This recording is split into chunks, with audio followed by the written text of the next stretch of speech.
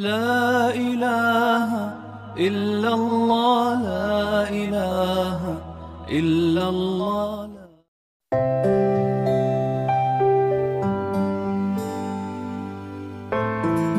Kisah Zanchrist, putri pendeta yang mantap mualaf setelah mengetahui Islam agama paling masuk akal.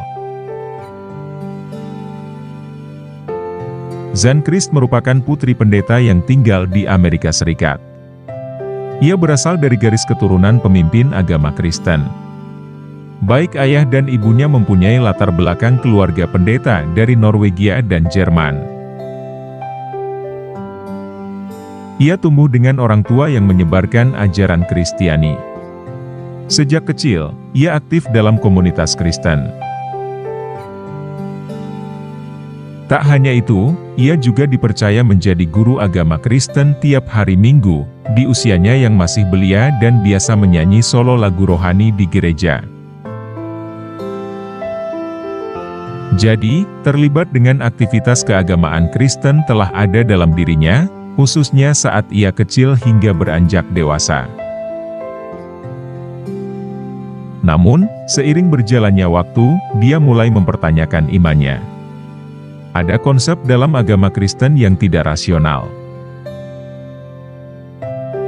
Kemudian ia memilih meninggalkan kampung halamannya untuk kuliah dan akhirnya belajar agama-agama besar dunia.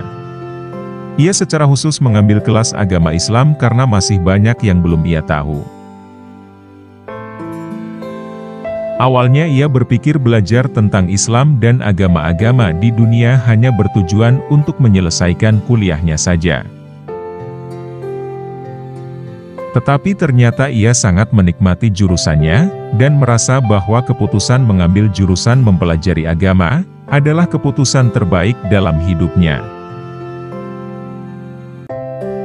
Akhirnya, Zanchrist melanjutkan karir pendidikannya dan melanjutkan ke Pascasarjana untuk belajar lebih dalam lagi.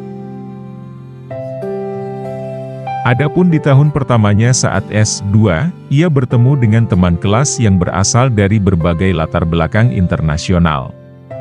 Ia berteman dengan teman muslim yang berasal dari Pakistan dan Somalia. Zanchrist penasaran mengapa teman-teman muslimnya senantiasa mempunyai kedamaian dan kebahagiaan batin dalam dirinya. Tak hanya itu, mereka sangat ramah dan murah hati padanya. Sudah sejak lama Zanchrist juga mendambakan kedamaian dan kebahagiaan batin yang serupa. Ia pun lebih mendalami Islam bukan sebagai pendekatan kuliah lagi, melainkan sebagai keyakinan. Akhirnya, ia merasa Islam adalah agama yang benar baginya. Di saat yang bersamaan, ia juga mendapatkan banyak kesulitan di perkuliahannya. Pada suatu malam, ia mencoba berbicara pada Allah Subhanahu wa Ta'ala, dan ia merasakan perasaan yang luar biasa. Itu adalah momen paling bahagia dalam hidupnya.